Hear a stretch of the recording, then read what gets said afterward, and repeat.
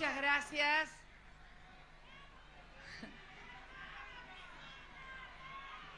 Como sé que no comieron, yo por lo menos no comí. Muy buenos días a todos y a todas los tucumanos y tucumanas.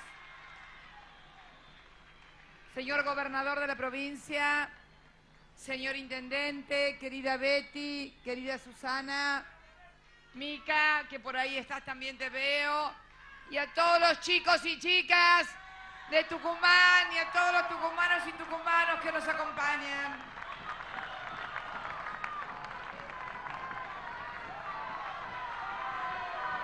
Arriba la banda y arriba Tucumán y arriba la Argentina.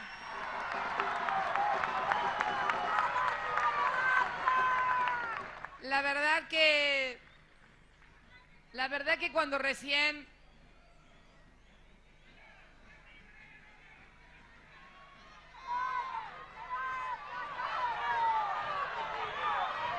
La verdad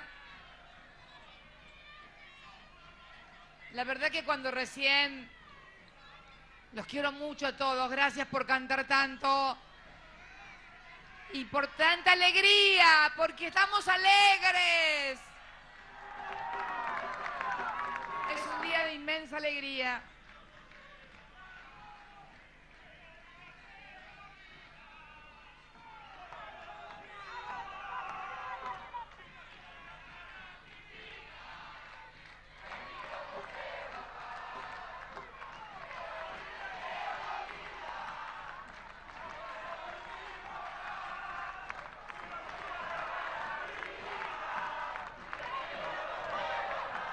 Recién cuando, recién cuando ingresaba a este fantástico Hospital del Este, Eva Perón, modernísimo, con una aparatología, con una instalación, con un diseño ultramoderno y que no tiene que envidiar absolutamente nada a los mejores sanatorios privados me vino a la memoria y se lo comentaba a Betty, a José, a Juan, otra inauguración de un hospital muy parecido en su diseño hace muchos años, allá en Río Gallegos, en 1995, inaugurábamos un hospital muy parecido a este, muy moderno, luminoso, digno. Él era gobernador de la provincia y se convirtió en un hospital modelo de residencia que además daba una mejor prestación que muchos sanatorios privados.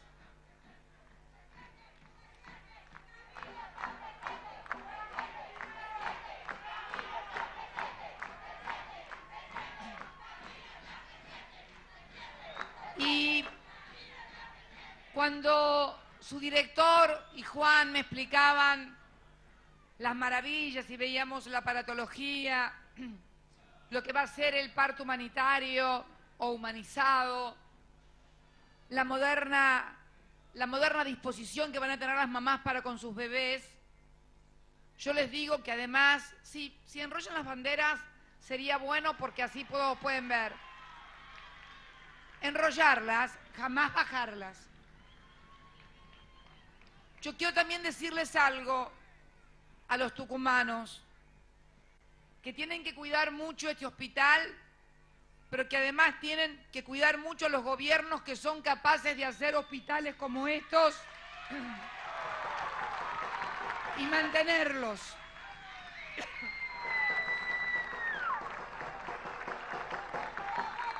Porque estos hospitales hay que construirlos, hay que mantenerlos y luego hay que tener gobiernos que administren los recursos de tal manera que siempre funcionen, que siempre haya médicos buenos, que siempre haya los insumos necesarios y más, porque nada es eterno si no se cuida.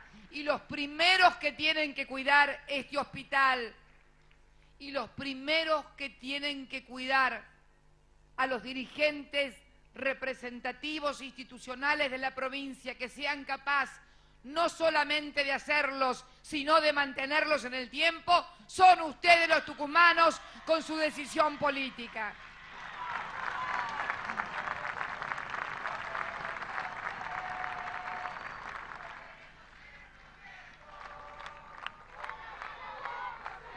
Primera vez, no es la primera vez que vengo a Tucumán, por cierto, y tampoco es la primera vez que vengo a inaugurar un centro de salud. Me acuerdo cuando todavía era senadora, ya en el año 2005, creo que un 24 de noviembre del 2005, cuando se duplicó la capacidad de la maternidad de San Miguel del Tucumán, debería venir él que era presidente, pero le había agarrado una pataleta al estómago, de esas que le agarraban cuando se amargaba por algo, se amargaba mucho.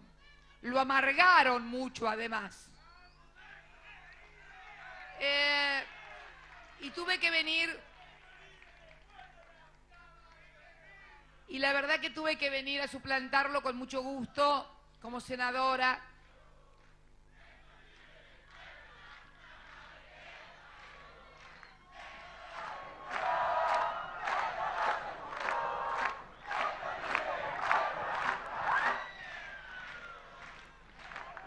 Y luego recordaba José que en el año 2006 Néstor lo llamó por teléfono para decirle que íbamos a destinar un préstamo del gobierno de España de aproximadamente 25 millones de euros, si mal no recuerdo, para hacer este hospital. Y me acuerdo que yo lo confirmé cuando vinimos a inaugurar el hospital de Aguilares, también el 8 de abril del año 2008. Yo recién asumida como presidenta, me va ganando en hospitales por varios cuerpos, Kirchner, me va ganando.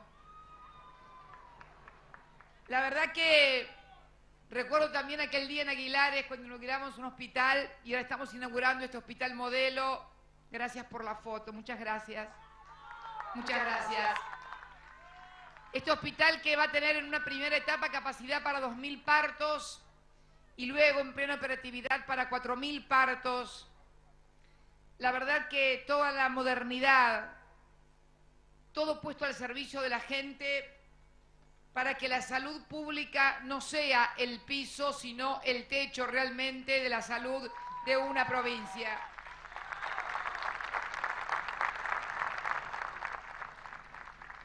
Por eso lo tienen que cuidar mucho. Y también salud junto a la educación. En un lugar emblemático como Faimayá, a escasos metros de lo que fue el primer centro clandestino de detención en la República Argentina en 1975. Sí, hagámonos cargos de lo que tengamos que hacernos cargo. Y la verdad que hoy, escucharlo a Alex, ver a los ex detenidos desaparecidos que estuvieron en esa, en esa escuelita que se conocía con el nombre de escuelita, y donde se torturaba, que yo digo, hay lugares y lugares, ¿no? Pero la verdad que en definitiva la tortura es terrible en cualquier lado, pero una escuela adquiere dimensiones simbólicas terribles, porque es como obturar, como clausurar las posibilidades de generación, de una generación de los chicos que van a estudiar, el lugar donde se forman los jóvenes, el lugar donde se forma su mente, se torturaba el cuerpo y la mente de otros jóvenes y de otros argentinos. Por eso la inauguración de esta escuela primaria e inicial, la escuela primaria con más de 2.000 metros cuadrados, la inicial con más de 500 metros cuadrados, 35 secciones, la primaria para más de 900 alumnos, seis secciones en la inicial para más de 158 alumnos. Esta es la Argentina con la que yo me quiero quedar. La Argentina de las más de 2.000 escuelas que hemos construido en todo el país.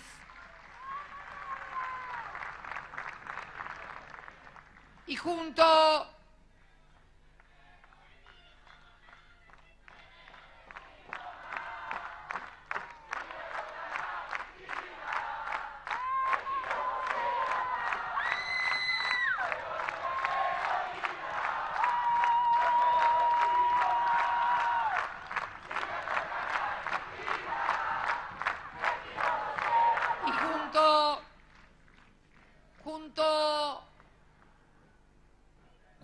salud, junto a la educación, la otra parte de la salud, como decía José, o como decía un profesor de Juan Mansur en la Facultad de Medicina, no hay mejor vacuna que el agua potable y las cloacas. Podréis tener un calendario con 25 vacunas, pero si los pibes, los chicos, las mamás no pueden lavar la verdura, no pueden lavar la fruta, no pueden limpiar su casa con agua potable, la tarea de los médicos, de las enfermeras, de los químicos se vuelve mucho más difícil. Aquí estamos inaugurando una planta de tratamiento con una inversión de más de 270 millones de pesos. Yo la recorrí.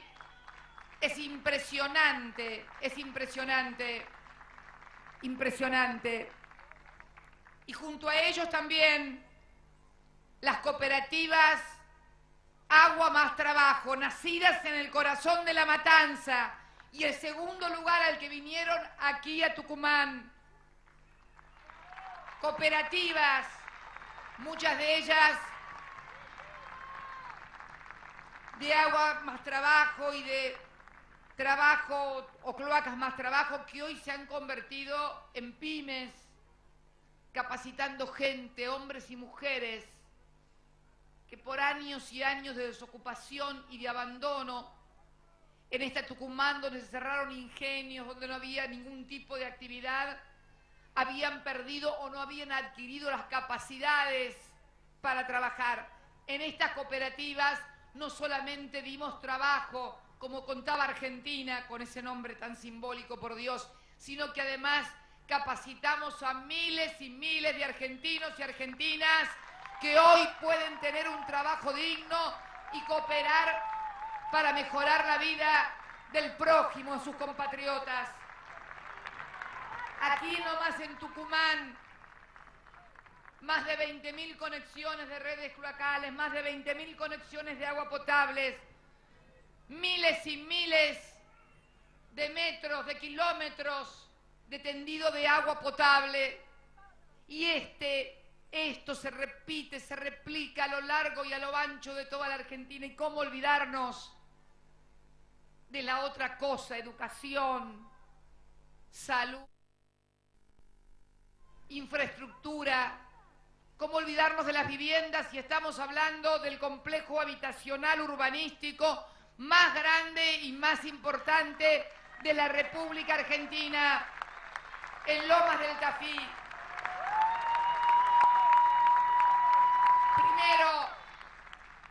Donde además más de sesenta y pico de hectáreas destinadas a espacios verdes, toda la infraestructura comunitaria, de colegios, de calle, de gas, de agua, la vivienda. En un país, me decía José, y Betty me confirmaba que el IPB, el Instituto Provincial de Vivienda, en sus 50 años de historia, había hecho 20.000 viviendas, esa era la cifra. En 10 años, ¿cuántas llevamos, José? 65 mil. Miren, miren, miren, si no tenemos razón cuando hablamos de la década ganada.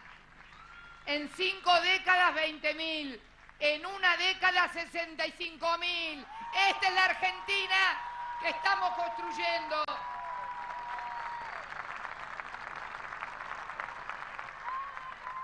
Y ese complejo que empezó con el compromiso de Néstor de 3.000 viviendas y que hoy inauguramos 108 más y que vamos a llegar a las 5.000 viviendas porque trabajo, vivienda, salud, educación son las claves de la movilidad social ascendente. Que para eso estamos en política, para que la gente viva mejor, para que tenga educación, para que tenga vivienda, para que tenga salud, también para que tenga más justicia y más seguridad, que también la necesitamos. Todos los argentinos Hoy estamos felices de estar aquí. Fíjense, fíjense, algo que nos pasaba siempre en Santa Cruz y nos pasó también en el gobierno nacional. Somos dirigentes políticos, los de este movimiento. La bandera, señora, bájela, dice, hay alguno que no puede ver. Gracias, señora. Gracias, compañera. Fíjense ustedes una cosa, observen algo, observen a los dirigentes de este espacio político amplio, plural, que no solamente integra el peronismo. Fíjense que cuando nos paramos frente a un micrófono, no nos paramos ni a descalificar ni a agraviar.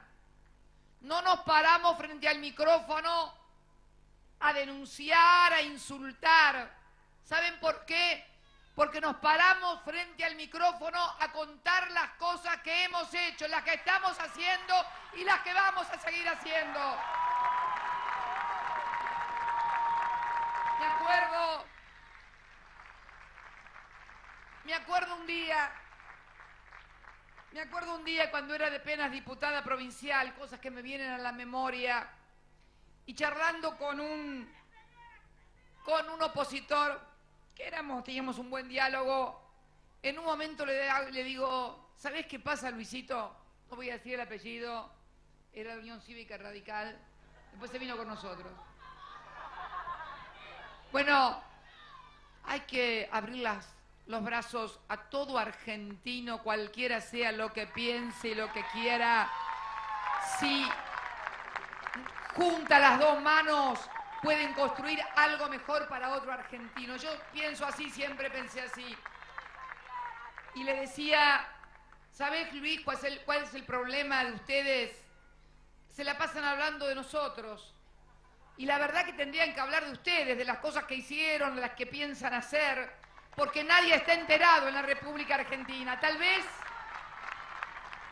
tal vez tal vez porque a lo mejor no se les ocurra qué hacer, tal vez porque ya estuvieron en el gobierno, hicieron cosas que mejor ni recordar, porque bueno, pero me gustaría más una Argentina en la cual se escucharan, además de las cosas que hacemos, contamos y de nuestras propuestas, también otras propuestas y entonces entablar un sano debate democrático. Pero cuando hablo de propuestas, hablo también de la autoridad para hablar porque, a ver, nadie sale de abajo de las baldosas, nadie nació de un repollo, todos venimos con una historia, mala, regular, buena o mejor. Por eso, por eso yo valoro tanto a los jóvenes que vienen sin las manias y que la única carga que tienen la única carga que llevan en sus espaldas es la de la solidaridad y del compromiso por el otro. Por eso los valoro tanto. Porque vienen con sus banderas. Porque no vienen a pedir nada, vienen a decir qué podemos hacer por este proyecto. A poner el hombro. ¿Y saben qué? ¿Saben qué? Dos cosas. Dos cosas que me que me llenan de orgullo. La primera, que no son jóvenes que vinieron al inicio de nuestro gobierno, al contrario, porque siempre cuando empieza un gobierno, después de, sobre todo de las situaciones que le tocó vivir a Argentina, me acuerdo del 83, el gobierno recién empezado de la democracia, las ilusiones, las esperanzas, después de tanto dolor, de tanta tragedia, de tanta desaparición, cuántas ilusiones, miles de jóvenes. Pero aquí, en nuestro gobierno fue como si todo nos costara más. Al principio estábamos casi solos, apenas un 22% de los votos nos miraban de reojo, como para no mirar de reojo a cualquier político con todo lo que había vivido y sufrido la Argentina. Y aquí estamos, al cabo de 10 años, reivindicada la política, los políticos vuelven a salir a la calle y después de 10 años, miles y miles de jóvenes se incorporan, no con ilusiones, sino con trabajo, porque creen en el futuro. Y además, y además, porque a mí también me tocó ser muy joven, a mí me tocó también ser muy joven.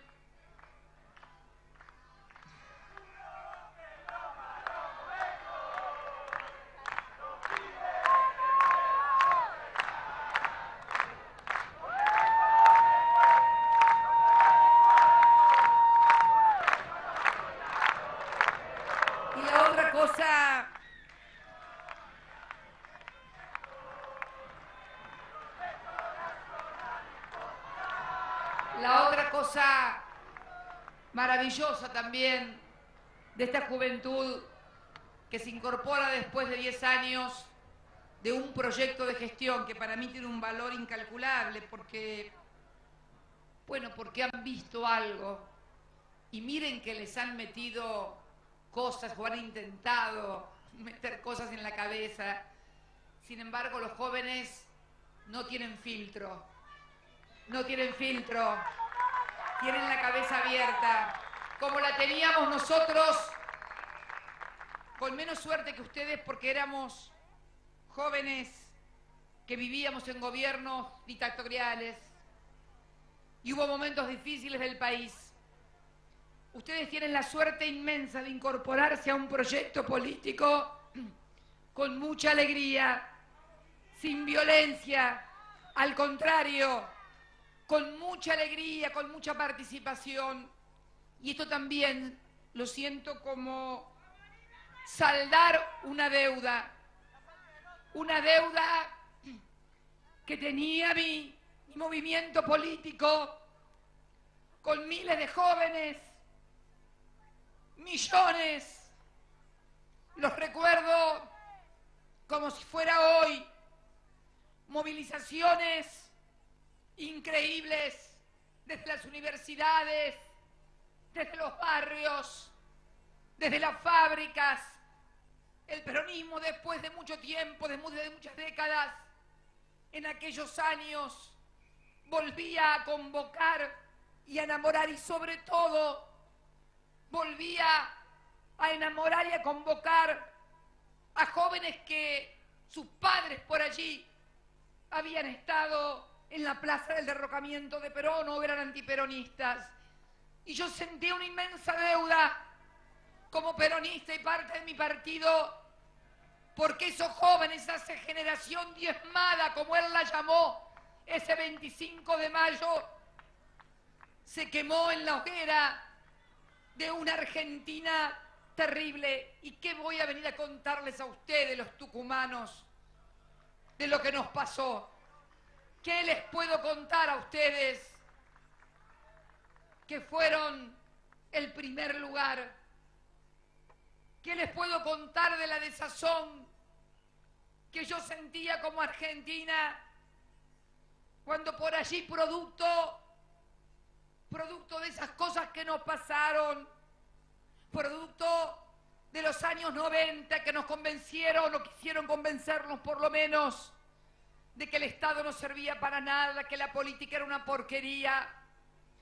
Terminaban ganando los mismos que habían masacrado al pueblo. No saben, no saben el sufrimiento que uno sentía. Por eso siento que estamos saldando una deuda. La primera deuda con los jóvenes. Los incorporamos a la vida, al trabajo, a la alegría. Y la segunda deuda con la historia. Acá está nuestro partido, nuestro movimiento, abierto a todas las corrientes, abierto a todos los hombres y mujeres, transformando la historia, ampliando derechos como siempre lo hicimos, ampliando nuestra mente, creando nuevos derechos, generando nuevas ilusiones.